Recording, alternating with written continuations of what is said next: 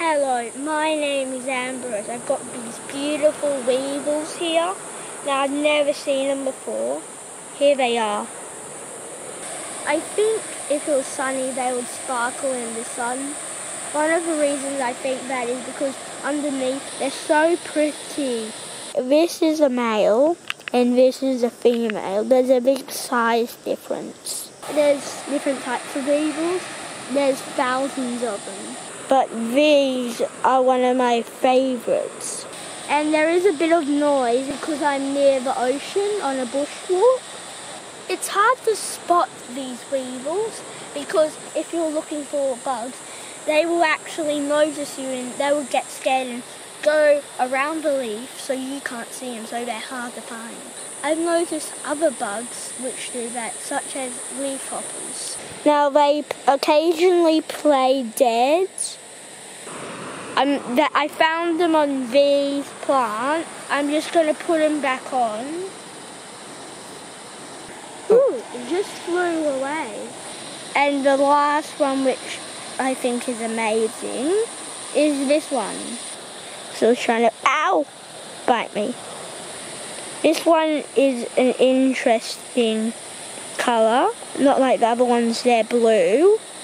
There he goes.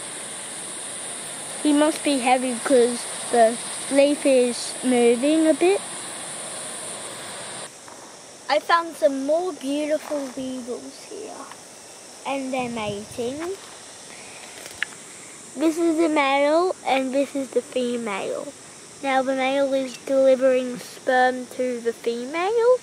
I'm not sure if you can see that that little bit black thing going from its abdomen to the female. That lets the female um, lay eggs and then they'll hatch because they've been fertilized. Without the male sperm, this species um, wouldn't be able to reproduce. And that is the same with lots of other bugs. The male's still delivering the sperm. Oh, I think they finished mating. I'm not sure, but it's possible that the male has finished. Or are they going to reattach? Nope. Oh. They finished mating everyone. Mm, very pretty. They're very pretty indeed. And they can get much prettier than this. But this is enough pretty for one day, so I better say goodbye. So thanks for watching and bye for now. I'll see you on our next adventure. Subscribe so you can join me on our next adventure.